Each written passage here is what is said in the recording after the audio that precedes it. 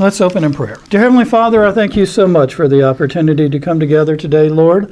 Hopefully, nothing will come out of my mouth today that is not a direct revelation from you. Lord, as we look forward to fellowshipping in your word today, give us direction, give us guidance, give us illumination of your word of what it all means so that we can put it down into our spirit. So when we need it, we can call it up. When the Holy Spirit prompts us in the upcoming week, when we can encounter other people, let's give them the truth of the gospel and let you have a relationship with them. We ask all of this in the name of Jesus Christ. Amen. So, we are in the Assembly of God Statement of Fundamental Truths. And just as a recap, so if anybody remembers, how many do we have as Assembly of God people? 16. And we also have core doctrines. How many of those? Four. I didn't hear you, I'm sorry. And as we mentioned last week, those are salvation, the baptism in the Holy Spirit, divine healing, and second coming of Christ. And why are those core doctrines of the 16, why are those to us as a church the four most important? Foundational truths. But why do we focus on those? What is the purpose of a church? To win the lost. Coincidentally, those four core doctrines are how you do that. So obviously, that's why those are core doctrines. As we mentioned before, the church obviously does meet the needs of the church members, but that's not the primary function of why we exist. We exist to reach the lost world. Once you become a member of the body of Christ, then you have the power and the gifts and everything that God will give out that you can become sufficient in this life, but it's those who are blinded to the truth that we're trying to reach in regard to it. So, one of the problems that we have with churches in America today is they have a tendency, especially as they grow larger, to turn inward and focus on what their needs are. And that's very dangerous, and that's why most large churches become lukewarm after a while. It's very unusual for large churches, even though everybody wants a large church. You really should be careful of that because that can be very dangerous. But the vast majority, probably 98% of all churches in the world, or less than 50 members. I don't know if you know that. Mega churches, and a mega church is considered any church over 200 members or less than half a percent of all the churches in the world. It's just a very unusual number that you have that. But a good, healthy church is typically 50 to 100. And what happens is, and we don't want to do this, but the same thing is with classes is if Bible classes get big, then what's the ideal number? Who knows specifically?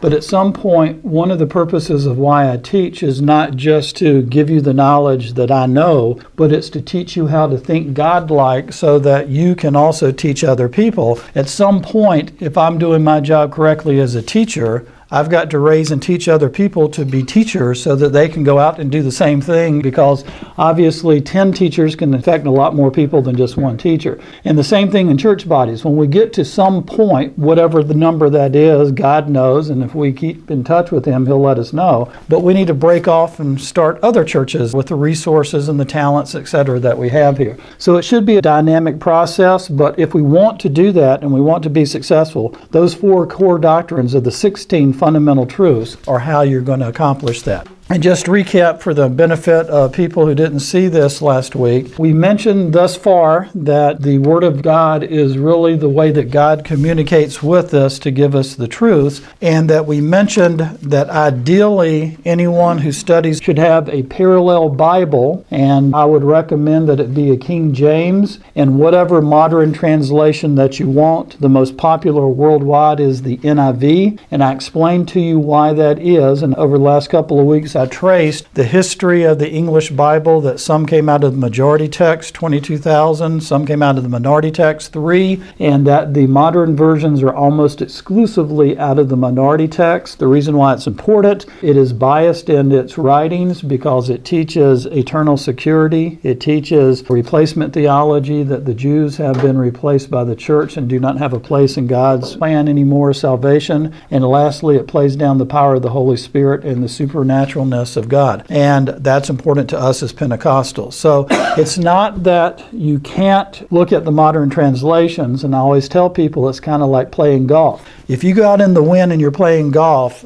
you can't hit it the way you normally do because the wind will blow it off the golf course if you hit it right down the middle. You have to play it left or right depending on how the wind's blowing and adjust for it and let the wind take it in there. If you use the modern translations okay, and I get it, in fact, I had, I think it was you last week that said you had a little trouble with the old English language in the King James Version, and I get that. and the modern translations will give you a gist of it but I demonstrated in passages such as Romans 3:25 or Ephesians 4:30 that the translation is 180 degrees as far as what the meaning of the text is, so you have to understand the biases there. But if you don't understand the verbiage in the King James, you can go to the modern translation and look at it. But if there is a conflict, in my opinion, based on the research that I did and what I've told you, always go with the King James because that's going to be the correct version as far as the theology is concerned you have to understand. And it's not unusual. I know some people are surprised. In fact, the vast majority of pastors in the country would not even know what I'm talking about in this subject. But do you think, just common sense, that Satan would let the Word of God go untampered with and unattacked through all of the eons that this world is here? If he can, he's going to do it. And because, as I explained, like in Ephesians 4:30, it's only one word that has changed, but it completely changes the meaning of the passage. The vast majority of people, because of poor education, education in America now don't have the grammatical skills or the English skills to even understand what's happening there, even if they see it. And as I explained to you as we went through our study of Psalms 90, that most people, because you have built in pre biases, you'll look at it and not even pay attention anyway because you only look and accept what you already believe anyway and you just ignore what it says there. And that's just human tendencies. So be careful with that. Second of all, we need to understand that, as I explained last week, that these 16 points and four core doctrines are non negotiable as far as Assembly of Gods. This is what makes us who we are. If you don't believe these, and I don't mean this to be mean, but this may not be the church for you because if you don't believe this, there is no way that we can come together as a church of one accord. And the only way that God will move into this church, and a couple of weeks ago when we had a nice little service in there, I explained that that what we witnessed there is based on the Word of God. And the only reason that we know that it was of God is because we know what the Word was. God is a God of order, but we have to be of one accord. If you want revival, if you want a movement of God, if you want a healing service, then we as a people better come together in accord to what God expects of us. Again, it took 50 days for 500 to get dwindled down to 120 in the upper room, and only once the 120 locked in together as a group did God finally appear in the divided tongue tongues of fire and tongue speaking, etc., occurred there. So we have to understand that. If there is division on minor points, we can live with that. If it gets to these 16 points, and especially the four core, we got a real problem here. So, again, it's not just Steve Bowman saying this. This is what we believe as a collection of churches that these are non negotiable. This language doesn't come from me, this comes directly off of their website. The reason why this is important and why we feel that the Bible is important, if you look on the outline, it says the Bible is our all sufficient rule for faith and practice. It is a manual for our lives. If you want to be successful in this life, you have to read the Bible. The reason why most people stumble and fall, and of course, a lot of churches and denominations will tell you that once you say the sinner's prayer, you can't stumble and fall, and God will never let you out of the kingdom once you're in it. We know that that's not true. In fact, all of the Bible books in the New Testament were they written to non believers or believers? They were written to believers. A non believer will never pick up the Bible and read it because he doesn't believe. So only believers were reading the letters of Paul and different people there. The warnings were to believers to be careful and finish the race and not fall away and to indulge in sin and all of those things because there is a consequence to it. So we have to understand. And I also mentioned before in our first class that there is only one way that you can grow in your faith. Only one way. What is that? Faith comes by hearing, and hearing by the Word of God. You cannot get determined and say, I'm going to be faithful. It's impossible. You can't do it. Why? Because you don't think like God does. God's ways are foolish to man. They're not the way that we would do things. I promise you, if man wrote the Bible it would not read anything like it does. When we tell people who are failing in their finances that the only way that you can successfully succeed financially in this world is give up 10% of what you can already afford already to get by, they look at you and their eyes just go blinking. They don't get it. How can I make it on 90% when I can't even survive on 100% because it is a godly principle? It doesn't make sense because it is a spiritual concept and you have to understand and be able to tap into the spiritual world. But the Bible also tells us about the demons and the spirits and Satan and how they work and their MOs and all of that and how we're going to get attacked and when we're going to get attacked, etc. The entire Bible is a lesson of the past history of how this stuff happened that we can draw upon and be successful. So we can't do it if we don't read it. And Barna Research talks about they do polls of Christians and as an example, these concepts are hard and we know that people aren't in the Bible for two reasons Christians. Do you know how many faithful evangelical Christians and evangelical Christians are those who state that they believe in the Bible and they attend a church at least once a month? That's a faithful Christian. What percentage of evangelicals actually faithfully tithe? Do you know what the percentage is? Probably 10%. 8%. And do you know what the average tithe of the typical evangelical is in America? We are the wealthiest nation on this planet. $30 a month is the average tithe of the 8%.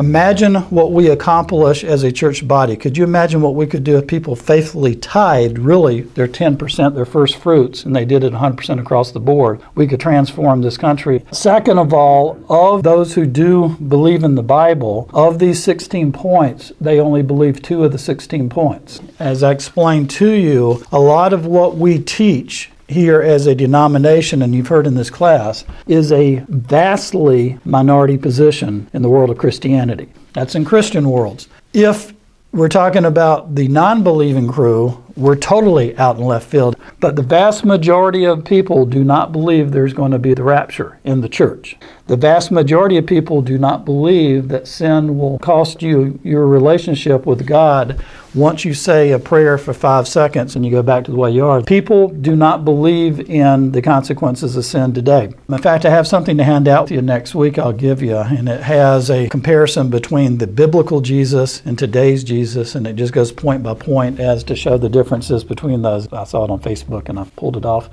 So we need to understand that if we want to be successful, we have to look at the Bible. That's how we do it. And the statement of fundamental truths is simply the basis of fellowship among us that we all speak the same thing, which is what I said. If we want to become of one accord, we have to have it. And I explained to you, I think a week ago, that the reason why America is falling apart is a lot of reasons. We've turned our back on God and we've gotten away from the principles. In fact, it always killed me that the rationale of not having the Ten Commandments anymore in our schools, I don't know if you remember this, but the Supreme Court basically said if we put them on the walls, then our children will read them and learn the principles, and we can't have that.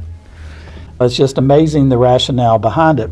But second of all, is because of language. Language is the common unifier in a nation. If you don't all speak it, you can't come together. And we no longer speak English. We now, if you go to Los Angeles as example, I think their ballots are in 16 different languages, but we're all hyphenated Americans. We're African Americans, we're Mexican Americans, etc. The same thing happens to a little degree in the church community because people always ask me, what church do you belong to? And I always respond to them, the body of Christ, I am a Christian, but I happen to go to Assembly of God Church because it's in that order. It's not that I am a Pentecostal before all else. That's not the case there. But most people, you're either a Baptist, a Catholic, etc., and that's what matters there. But again, that's the divisions. The same thing happens even in the church community, so we have to be careful of that. Our scripture to look at is 1 Corinthians 1.10. Now I beseech you, brethren, by the name of our Lord Jesus Christ, that you all speak the same thing and that there be no divisions among you, but that you be perfectly joined together in the same mind and in the same judgment. Again, how do you do that? In our own abilities as human beings, we cannot come together.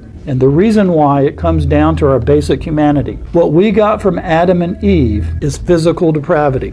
What it means is my body is deteriorating and my physical needs overcome the power of my mind and my will, and I will always, in my own power, succumb to it. In essence, I will always be selfish because I am so out of balance. I'm trying to make my ship right, so to speak. All of my energy, all of my time, all of my thoughts will be focused on that. If I do it on my own, I cannot worry about your needs because I'm too worried about my needs. Only when I have been born again, my spirit man is turned on, and I have fellowship with the Holy Spirit and the Word of God in my life, can I become balanced and I can strengthen my will because I know through my mind and through my reason that the consequences of disobeying God is not a good thing, and that by being obedient, my life will be better. I will strengthen my will to overcome my physical depravity, and therefore I can focus on the rest of the world because I'm not worried about survival. I'm able to go forward with the assurance of God that my eternity is secure in the future. So, therefore, I can now worry about other people.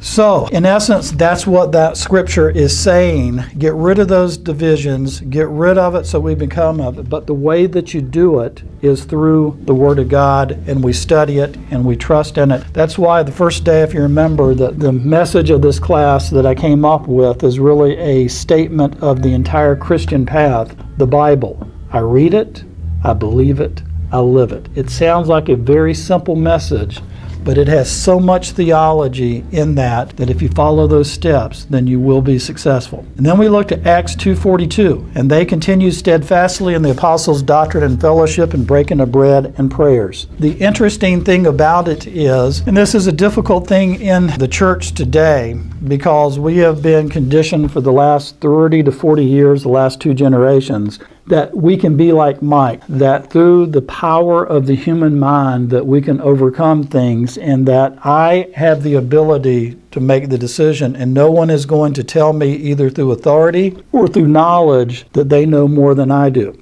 I get challenged as a Bible teacher continuously. When I was on radio and television, I was part of the reason I did what I did was so that people could challenge me and I could respond them back. But people have always challenged my teachings from the very first day that I have been called to teach. In America today, there's a lot of people who doesn't like our current president. And I understand that. There are things that he does that I do not agree with, but that's true across the board and he probably is the least aligned to conservatism and Christianity of any president we've had, at least in my lifetime for sure. But to a certain degree, the office of the presidency still degrees a decorum and a bit of respect. And there's a difference between disagreeing with a man and disagreeing with the office, but we've lost that. Now, when the president goes off into the public, there'll be people screaming and shouting and cussing him and bad mouthing him, etc. And the same thing is true. There may be a time as a teacher or a leader of the church when Pastor Eddie preaches or I teach, you don't agree with me, and I'm not pointing at anyone in this room, I'm just saying this generically. But the office of being a representative of God deserves respect. So, therefore, if you don't agree with me, that is fine. But what I would recommend that you don't do is walk into the class and never come back because you think you know more. I'm not saying that I know everything, but I do say that I study this a whole lot. But I am willing to discuss any matter of anyone that if you disagree with me, let's look at the Word of God because it doesn't matter what you believe, it doesn't matter what I believe, it's what God believes and that we follow that. And over the years, I have changed my opinion. Not a whole lot because I do try to study a lot, but I have changed my opinion on a few things. The reason why that's important, if you look at the scriptures, is they followed whose teachings? Their own Whose? Jesus. Jesus ultimately, but the apostles who were his disciples, there has to be an order that you follow. If you're not on the board and you're not a deacon of a church, you can voice your opinion, but if you want to make a difference, next election time, become a deacon. But until then, respect the decisions of the deacons and don't be disrespectful. If you don't necessarily like the pastor, remember that he is God's chosen vessel in this church and that you have to follow him even if you don't agree. And just as a child is often the case, you may not understand what the pastor is saying or why he's saying it, but if he is a godly man following God's will, he has some insight that you probably don't have, and sometimes you just have to accept things because of the way they are. The reason I'm saying all of this stuff is important, there is a pattern that God has created, and it's important that we follow this as a church. So there has to be doctrine. The next part of that is there has to be fellowship. You cannot go in this life as a Christian all alone. It was not designed to be that way. Whether you realize it or not, the human was not created to be a solitary island out in the sea of life. We were created to fellowship. My wife, and it's always amazing me that no matter where we go, people gravitate to her personality and they like her. That's not always been the case with me. I have a tendency to polarize a little bit more than my wife does, and that's okay. That's more who I am. But even as a person, I like my private time away from other people. Some of that is because in so many areas of my life I've been in front of people in the public, and I just don't want that all the time. I want to get away from it. Again, it gets back to our selfish principle. It's not just what we want. In here, we have a lot of experience in Christianity. Out there, there's a lot of people who are novices to the faith. They need your leadership and your guidance and your teachings. It's not just what we get out of that fellowship, it's what can we give to other people in that fellowship. That's why you have to. When you take on the cloak of Christianity, you take on it and say, Lord, I will do your will and I will bring the lost. People turn to Jesus because his teachings, if you are following him, are reflected in your life and it's that that draws you're like a lightning bug if you're following the principles of Jesus Christ and you will draw people to you because Jesus was the most remarkable man ever on this earth and people gravitated to him because he was God but it was the way that he lived the things that he taught the truth. Anytime you encounter anything ask yourself who is going to benefit from this action or this decision is it going to be me? If it is, you're sinning compared to another person that you're dealing with in regard to it. If it's a principle, just always ask yourself if I am taught that I don't have to worry about my salvation, and because I said a prayer, and I can go ahead and live my same lifestyle that I did before, who do you think benefits from that teaching? Is it me? Obviously. Is it Satan? Obviously. Is it God? No. Do you think that's a godly principle? And I don't care where you get it from. I didn't even mention what the principle was. You always ask that question. But the same thing. If I choose to not fellowship with my brother Christians, who benefits from that? If I choose to be alone, does anyone other than myself benefit from that? Well, sometimes if you're cantankerous, maybe people don't want you around them, and that's the case. But typically speaking, the focus is never on me. That is a thought thinking like a man of this world. It is always on everyone else. A non Christian looks inward, a Christian looks outward. So, if I choose not to participate, or if you're not involved in a ministry or some calling in the church, you're being selfish, guys, because you have something that someone else could benefit from. And by you choosing to keep it to yourself, you're not helping the body of Christ. You may not think you have any skill or talent, but you do. I don't know what it is, but you do in some way and someone will benefit from us. No one knows what the appendix is for in our body, but we got one, so some reason it was there. We lost the use over the years, but at some reason God created an appendix in there for some reason. I guess if no other reason, it's just a little time bomb that if people are rebellious, he can flick it on and cause you to come back to him or what. I don't know whatever reason, but there's a reason in regard to it. There is not a part of the human body that's not there for a reason. There is not a person in this church who is not here but for a reason. So you have to do that. And we come together in the same mind, in the same judgment. Now, the same mind can only be if we're getting similar teachings and we believe it and we accept it. But the same judgment means what? It's how I think through the process and it's how I carry out my actions based on the information that I have. If I throw a set of facts to you Will everyone in this room, in all likelihood, come up with the same response and do something? If I told you to put these chairs away, do you think everybody would do it exactly the same way? Why? Because we're thinking individually. But if we think like the mind of Christ, based on the Word of God, when it comes to spiritual principles, we all will come to the same conclusion and we will do it the same way. Now, that doesn't mean as humans we lose our individuality, but when it comes to the doctrine of God, we have to do that because that's how you become one of accord. We have to swallow our pride. It is not about us individually, it is about bringing the glory of Christ. One of the greatest transformations that you'll ever have in your life is the day that you finally, quote unquote, get it and understand I'm not here for me. It is the most liberating day. Most people, when you come to Christ, you come to Christ as we've already explained, I think, in class one. Why? Why do you turn to Christ? Who are you turning to Christ for? Yourself. Why? See the need.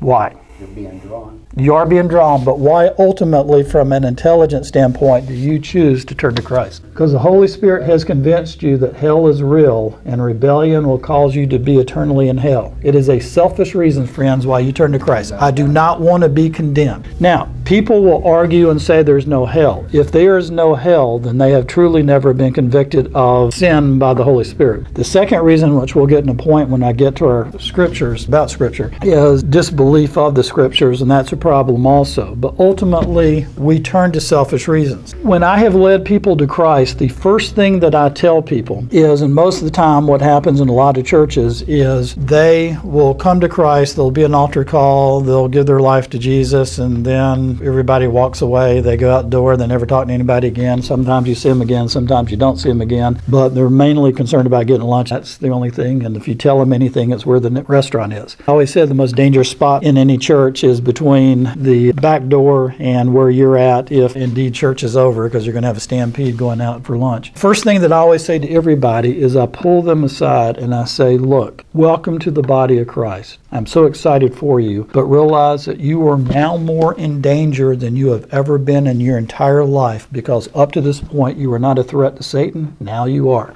He is going to focus all of his minions to attack you right now in a way that you have never been attacked in your life because as a non believer, you're no threat to him because you're in his camp. When you become a child of God, you are now a risk. And a mature Christian, he's not going to be able to draw away. A brand new baby Christian is so vulnerable to his raw meat and he is going to be attacked. So I tell them, get in church faithfully, get into the Word of God, talk to someone and mentor you, etc. Because if you don't, and I look at them, odds are you're going to be lost and you're going to up in hell. And that's a very tough thing to say to someone right after they turn to Christ, but it is honest because you're vulnerable. What happens is almost more dangerous than being a non believer because you have a little bit of knowledge, you don't understand it, you don't know how to use it, you don't really know that you're a threat to anybody, etc. And you think everything's hunky dory. That's why when the first disappointment comes along, they often fall away, as you often see, because they thought that things are supposed to be better now. That's a danger. So, again, that's where that fellowship comes into play. That's why it's important that you have people get around them and protect them. That's some of the responsibility that we have. They know about God, but they don't really know how God operates. They don't know how Satan operates. They don't understand the importance of prayer. They don't understand the importance of fellowship. They don't understand the importance of getting into Bible study and studying doctrine. They don't understand all of that because they were just selfish 30 seconds before they're still going to be selfish and it still is all about them. That's why it's a process. It's a sanctification process, but at some point you will actually open your eyes and you will say, it's not about me. It never was about me. I am a created being, and for the glory of God, I wouldn't even be here. It is all about Him. I was created to bring glory to God in whatever skill and talent and way that He wants to do it. And when you realize that, man, do you move up to the next level of being a Christian. And then you'll understand. And then when you learn things like being baptized in the Holy Spirit, you'll understand and release the power. It's not just words on paper. It's not just an intellectual knowledge of God. There is real power in the name and the blood and the cross of Jesus Christ that can overcome this world. You can be an overcomer. You don't just have to exist on your own abilities. You can actually draw on the power of the entire universe that if it's in God's will, you can actually move mountains. As hard as that is, and we think of just that as a concept, we don't get it. As a man, we can't do it. But truly, if you believe in God and you are faithful and you have been baptized in the Spirit, you can call on the power of God to rebuke Satan the most powerful angel that there was, you can actually put him under your foot. You can do greater things than Christ did on this earth with his power. And you think about that. What's a cold? What's a sickness? What's a heart disease? What's a knee problem, etc.? When I can call on the God of the universe and I can draw upon his power, when you realize how much there is, and if you're going to be selfish, you can look at it a little selfish way. Man, if you want power, that's true power. That's agape power. That's dunamis power. That is power that you want to draw upon. And you realize that. But it can only happen if you base it on doctrine and you come together in fellowship and you become one and you unify, etc. That's why this is important. And then the last part of that was breaking and bread, and we've got away from that. That's probably the one area that we don't do, and that's that we don't actually go out and fellowship probably as much as we used to. Some of that's cultural today. We just don't get together as much as we used to. Any questions up to this point? Okay, now this is a statement from them. This phraseology employed in the statement is not inspired nor contended for, but the truth set forth is held to be essential to a full gospel ministry. No claim is made that it covers all biblical truth, only that it covers our need as these fundamental doctrines. We do believe that these are the core doctrines, but there is not a chapter and a verse that you can go to and say, Out of heaven, I give these 16 commandments with four core doctrines, and this is what you shall believe. Based on our understanding and the illumination of the Holy Spirit's teachings, we believe that this is it. And as I told you, I am an Assembly of God person because I researched it and I felt that this church, or at least this collection of churches, because we don't have a ecclesiastical structure in the church where there's a central authority and it comes down and dictates things. I believe that it is correct, but it is also our interpretations of the scriptures. That's why there is disagreement among denominations. But I promise you, if you read these and you're open to the Holy Spirit and you follow these doctrines, you will receive opposition not only in this world, but even in the Christian community, the vast majority of Christians do not believe what is on these pages. So be aware that if you choose to be a faithful Christian, you will be attacked by not only the outside world, but even those within the church itself who are going to disagree with you. Because ultimately, if there is disagreement and discord, who benefits from that? Satan. People are always contesting things how can you not realize what's happening when you participate in that? That even if the other person is technically wrong, possibly your approach on how to deal with them is also wrong. So sometimes you have to use scriptures. I wish I had a dollar for every time someone has ever told me that, well, you sinned when I say something, or who gave you the authority to do so? And every time I look at it, I just say, God did. What do you mean? I said, if you look in scriptures, God has given me the authority. In fact, He has given me the responsibility, as He's given each one of you, is to teach and rebuke and use the Word of God to basically help people along. You have a responsibility. Once you join the club, you have a responsibility to make sure the club stays pure and to discipline if you necessarily have to. And ultimately, which people don't ever follow in the churches today, we have the responsibility as a church to do what if someone is unwilling to repent and turn their ways? What's the ultimate sanction? Kick them out. I have been members of churches and I have never seen a church ever kick anyone out. In fact, I have very rarely ever seen them go to the point where, in the step before kicking them out, is to confront them publicly and they have a chance to repent. You're first to do it in private, but if that resists, then you bring it out into the public. But I've never seen people ever be disciplined by church, ever, to be honest with you, in any church, no matter what they've done, minor, major, etc. They may say a word, but they don't actually do anything. There's no consequence. And as I explained to you, and people don't like this and don't agree agree with me. The only way that human behavior will change is there has to be a negative consequence.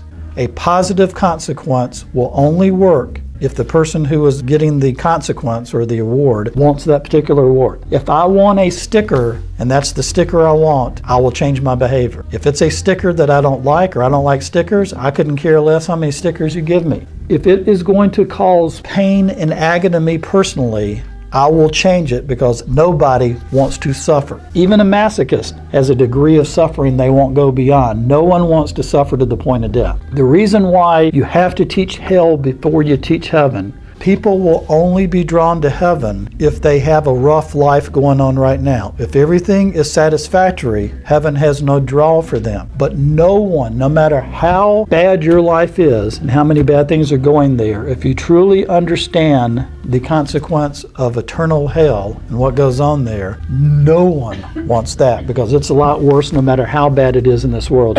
So we have to do it. People will only change if there's a consequence. If you don't place a consequence on an individual, and people always tell me, and I guess I'm kind of an Old Testament guy, that you're too harsh, you're too legalistic. When you stand before Christ, and it comes to that day where He's going to judge you, it is an absolute standard.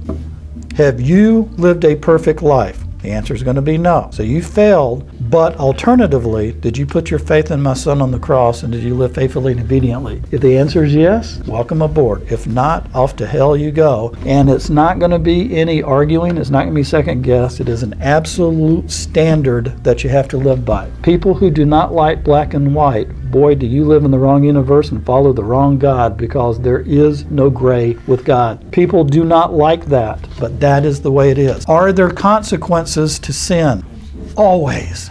You cannot sin and not make a problem for someone or yourself. People do not want to address sins of other people because ultimately it's unpleasant for you, even though you didn't do it, but you still got to deal with it. If someone does something in this church and causes discord, as a leader, I took on the responsibility to deal with that. And it's not fun. I don't want to confront someone. I don't want to make an example of someone, but that's the responsibility I have. It would be better if no one sinned. But boy, do we live in a fallen world and there will always be sin. You cannot sin and not cause hurt and pain to someone, either yourself or some other person. It will always happen there. So, what we can do is nip it in the bud so that it doesn't continue. But undealt with sin will always grow, it will always fester, it will always get worse, it will have more consequences. Ignoring or postponing dealing with it does not make things better. It never has, it never will. So, we have to understand that. So, let's go ahead and get into our first point. Scripture Scriptures inspired. The Scriptures, both the Old and the New Testaments, are verbally inspired of God and are the revelation of God to man, the infallible, authoritative rule of faith and conduct. First Scripture, 2 Timothy 3:15 through 17. And that from a child thou hast known the Holy Scriptures, which are able to make thee wise unto salvation through faith, which is in Christ Jesus if we want to be saved and eternally with our God who created us, how do we do it? He's given us the steps. If you want salvation, it comes through faith, which is in Christ Jesus. And where do we get that? By being wise. And how do we become wise? By renewing of our mind. And how do we renew our mind? By hearing the Word of God. That is the formula to salvation. Okay? God doesn't pour magic pixie dust on you. It doesn't happen by being a lump in the log, by occasionally coming to church. There is no other way. You do not study God's Word faithfully and daily, you are not going to make it home to salvation. That's the plan. That's the methodology. That's how it works. You can't come to God in your own right. You cannot become wise. God reaches lost people, and people think that it's through our spirit. It is through our spirit, that's how he communicates. But it is through the human mind, it is through our reason. God doesn't do it through emotions. He doesn't do it through feelings. It is through intelligence and through the mind. And yet we downplay that in the church today. In Pentecostalism, it's all about the feeling and the emotion and feeling the Holy Spirit. All of that is true, and there is power in that, but you'll never get to that point unless you open your mind and become receptive and do the Word of God. That is why, and I told you before, I am well aware that if I ever became a pastor, I would be a church of one she would not even come to my church. I understand that and I know that, but I would make it mandatory if I had the ability that no one could belong to this church unless they attend Bible study every single week. Now, I understand there'll always be an exception and whatever. What magic number is absolute, I don't know, but the intent is there. And the reason is I know without God's word, you're not going to make it home. I know it. It's just not going to happen. And yet we downplay it so much. That is why there's problems in any church is because of that. In fact, there's two things that always drove me crazy when I deal with pastors. One is I've heard pastors that say, well, you got to be easy on people when dealing with sin because they cannot help but sinning. Hogwash. Hogwash.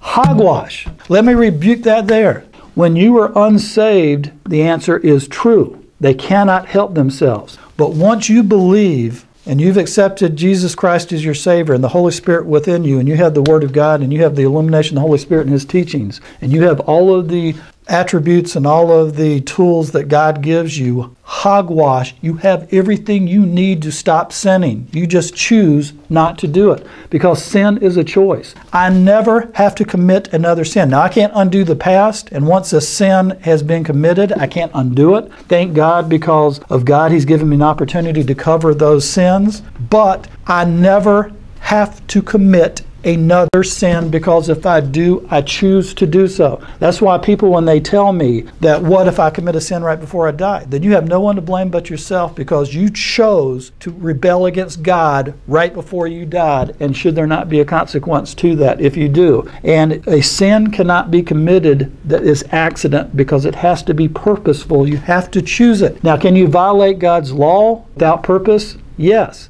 There may be some temporal consequences in this earth because you do, but there is not a salvation consequence. You have to purpose rebellion against God, and if you do, you cannot claim innocence. You know you did it. So that is hogwash. It drives me crazy that people say that. The other one is that you can't make people attend a Bible study, and I say hogwash.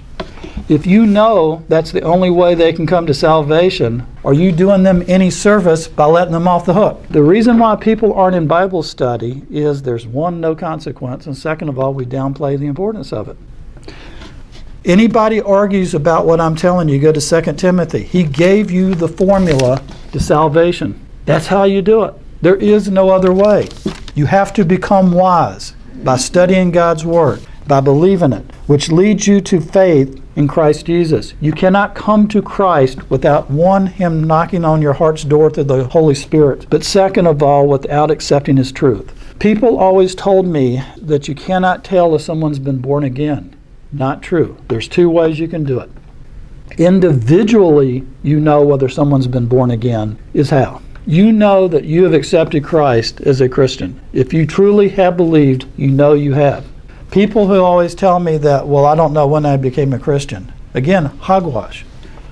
You cannot change 180 degrees in how you view life and how you experience life and not see a difference in the scenery. If you can't tell any difference between your life before accepting Christ and not, you have never accepted Christ. And I don't care who you are, and you can argue with me all you want there. It is impossible to turn your eyes onto heaven as opposed to hell and not know a difference is there. If someone is a addict, and they have a drug addiction or an alcohol addiction, there is a pivot point where they can point directly on that day and know I changed my life and understand I hit rock bottom and I decided to make a change. In order for you to be a Christian, you have to have the same things a spiritual change. If you cannot point to when that is, you have never had an encounter with God. If you have a film and you have radiation hit it, it will always be there. If Christ has encountered you, if you've had an encounter with Christ, you can never not be different because of that encounter. Otherwise, you have never had an encounter of Christ. It's impossible. How you can also know this isn't scriptural, this is a but I believe it's absolutely true. You know that someone has been born again if they do not question the Word of God. If any Christian reads the Bible and questions any jot or any tittle, they are not born again. Why? When you are born again, what happens? You are indwelt by the Holy Spirit. The whole ministry of the Holy Spirit is to do what? Bring glory to Jesus Christ. If you doubt any word, which is the inspired word of God, who came through God, it was written by man, but it was through inspiration. If you doubt any jot or tittle of it, then you doubt Christ because the Bible is a reflection of whom? In the beginning there was the Word, the Word was with God, and the Word is God. To doubt his word is to doubt God himself. So therefore, if you doubt God's word, if you only believe 90% of the Bible and pick and choose like Jefferson, you've never been born again, guys, because it is who he is. Now, I have to temper that a little bit based on what I told you earlier, the fact that some of the doctrine and the translations have been corrupted, and you have to understand that. But that still doesn't mean that you don't understand that what I'm telling you is that principle. But that is a test. If you have someone standing in front of you arguing whether this is true in the Bible and I don't believe it, etc., that person's never been born again because he's not indwelt by the Holy Spirit because that is the sole purpose of the Holy Spirit is to bring glory to Jesus Christ. And if he allows you to doubt God's word, then he's allowing you to doubt Christ, and that's contrary to what he is. So if you understand that. Well, I've got 10 o'clock. and Any questions I can answer for you? Man, I zipped along. I got through one page today, huh? Yes. Very good. Well, let's close in prayer. Dear Heavenly Father, I thank you so much for the opportunity to come together today, Lord. Hopefully, nothing came out of my mouth which was not a direct revelation from you. Lord, as we leave here today, let's go into the worship center and give you glory. Let's give you praise, understanding that it is about you. Let's listen to your word. Let's drop it down into our spirit. Let's understand that, Lord, we have been put on this earth as a church body for a purpose. That when we leave here today, if we have the opportunity and the Holy Spirit prompts us to impact other people's life, to teach them about you, time is short, you're coming back, we won't always have this opportunity. And Lord, let's never not take advantage of the opportunities that are presented. There are people lost throughout this world, but there are so many people even in Citrus County that we can impact. We can't impact people in Iraq. We can't impact people in Russia, but we can certainly impact people in Beverly Hills in Citrus County. Let's take the opportunity. We ask all of this in the name of Jesus Christ. Amen.